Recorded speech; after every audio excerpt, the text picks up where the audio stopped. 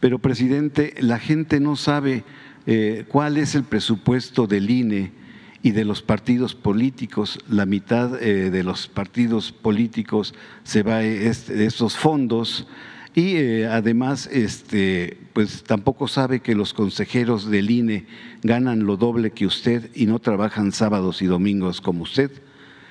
por ello mi pregunta es, señor presidente, ¿en estos momentos el INE es autónomo?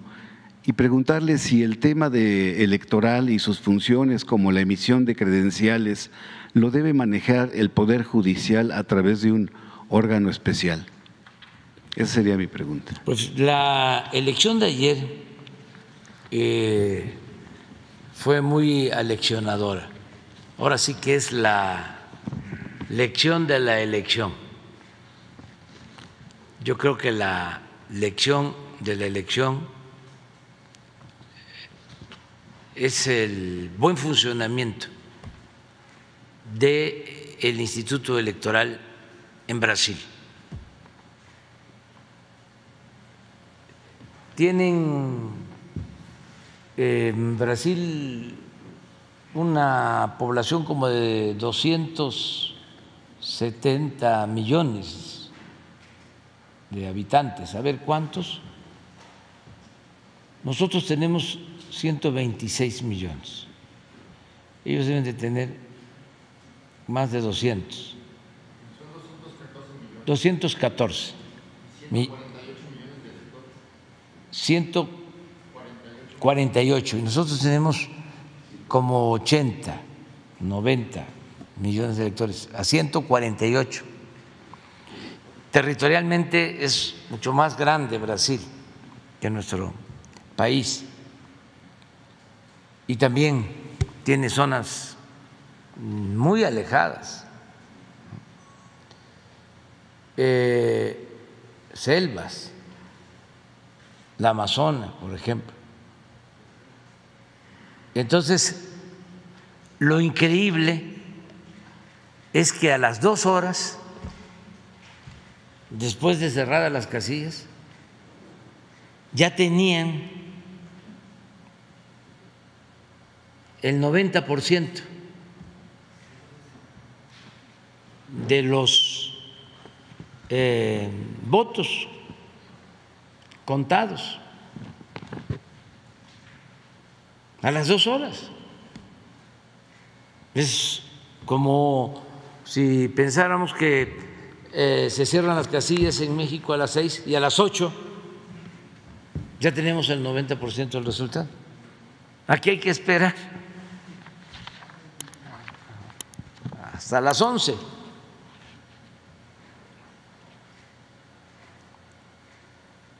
El preliminar, y de ahí empieza, ¿cómo se le llama eso? Sí, pero tiene un nombre. Sí, es escrutinio, pero el PREP.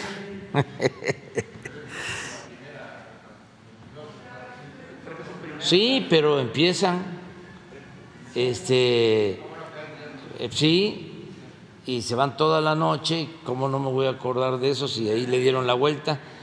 Eh, nos fuimos a dormir y cuando despertamos ya, ya este, era distinto el resultado. Eh, entonces, sí hay que eh, analizar cómo le hacen. Creo que hay voto electrónico. Sí, debe de haber voto electrónico y también eh, voto directo. Por eso también eh, de manera natural eh, empiezan a llegar los votos de las ciudades. No sé si se dieron cuenta, tanto en la primera vuelta como en la segunda, de que iba arriba Bolsonaro y luego empieza a cambiar porque empieza a llegar los votos de las zonas más apartadas, porque es lo mismo. También esa es una lección. La gente más pobre, más necesitada, vota por los gobiernos que considera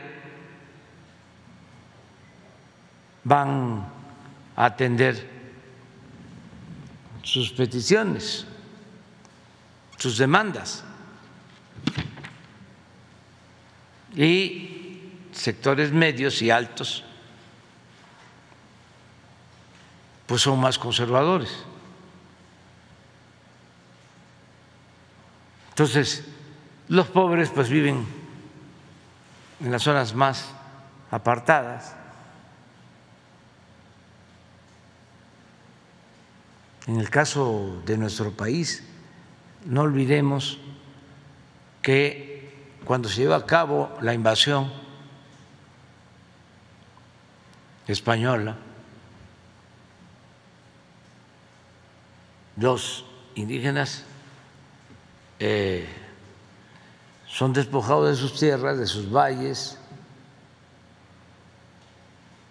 y se van a zonas de refugio, a zonas serranas, pantanosas, para mantener su libertad y su cultura. Esto sucede en todos lados. Entonces, por eso tardan más en llegar. Ahí no es el propósito de ir administrando como lo hicieron en el 2006 aquí,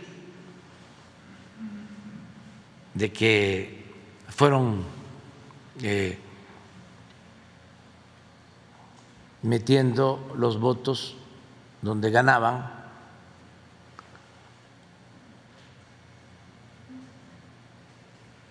Eh, gradualmente, no en el 2006, fue un doble golpe, porque hacen el fraude y luego llevan a cabo un conteo, esto el, el domingo y el miércoles, con los medios de información, con la televisión nacional, convertida en el órgano electoral. Todo un espectáculo perverso. Ahí está en una mesa, me acuerdo, Ciro, López Dóriga, y era el conteo. Y ellos estaban vinculados enlazados al INE. Y entonces empieza la contabilidad y vamos arriba, vamos arriba, vamos arriba. La gente feliz, feliz. Ya había pasado el domingo. y empieza la manipulación. Y hay un cruce. Y por 0.5 supuestamente gana Calderón. Estaba un grupo de empresarios este, reunidos preocupados porque la tendencia pues era que íbamos a ganar y hablaron a los pinos y les contestaron de los pinos que no se preocuparan.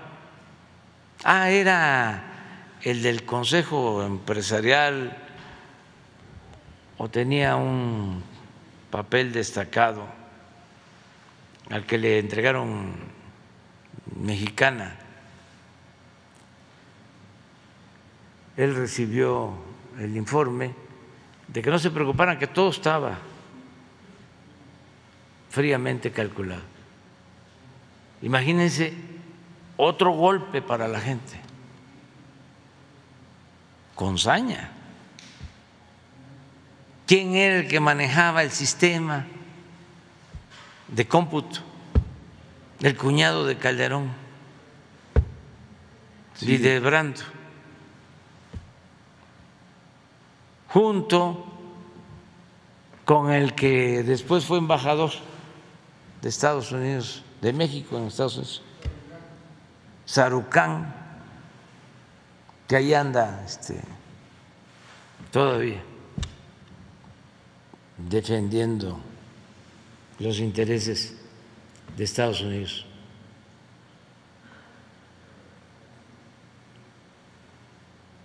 ¿Qué pasó con, cómo se llama la empresa esta? Hildebrando, que así se llama señor. Este ayuda en el fraude, imponen al cuñado y él vende su empresa, su empresa a Telmex.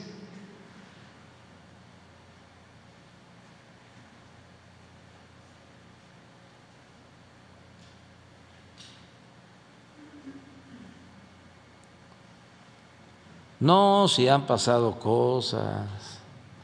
Entonces, regresando a la elección de eh, Brasil, ojalá y ahora que se está eh, discutiendo lo de la reforma electoral, vaya una comisión de legisladores a Brasil. A ver cómo es el sistema.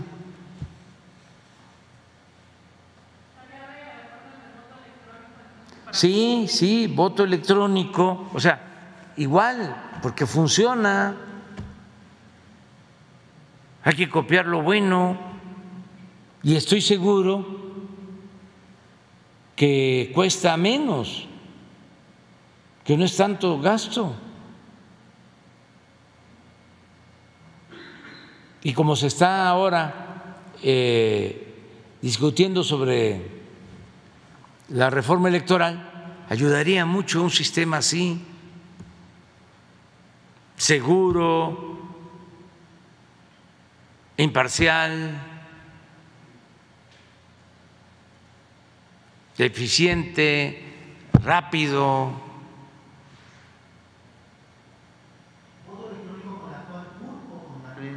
Buscar la forma, no sé, pero eh, es un hecho de que ese sistema funciona, porque estamos hablando de eh, Brasil. Ya sabemos que en Costa Rica desde hace décadas funciona muy bien su sistema electoral,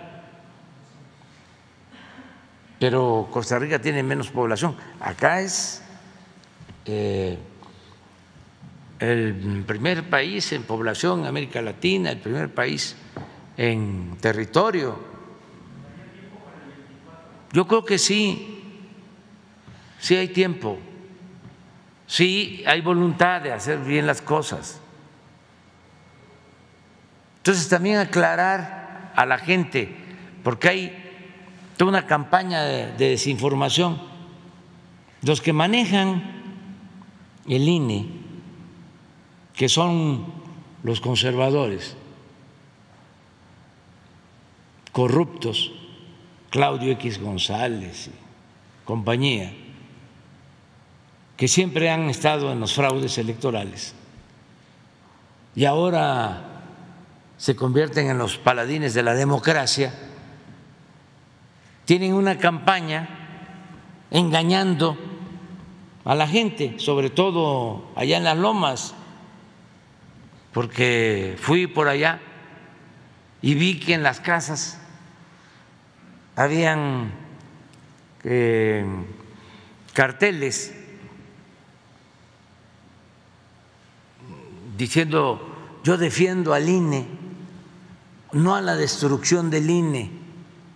Bueno, Calderón fue allá a España a decir que en este mes de noviembre se acababa la democracia en México, porque iba a desaparecer el INE.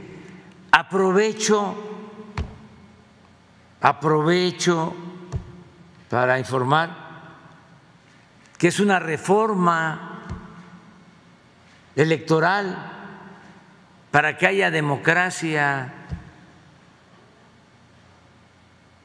No es desaparecer al órgano encargado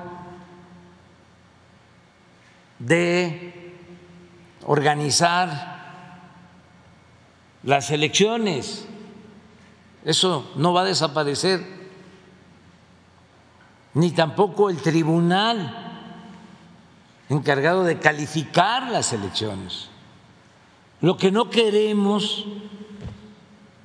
es que continúe este sistema corrupto, antidemocrático, que está en poder de los conservadores, porque son capaces, y no hablo al tanteo, de hacer un fraude hacia adelante, como ya lo han hecho. Y eso hay que evitarlo. porque eso sería un retroceso, una cuestión gravísima para el país. Y estos son capaces de hacerlo. Repito, ya lo hicieron, no una vez, varias veces.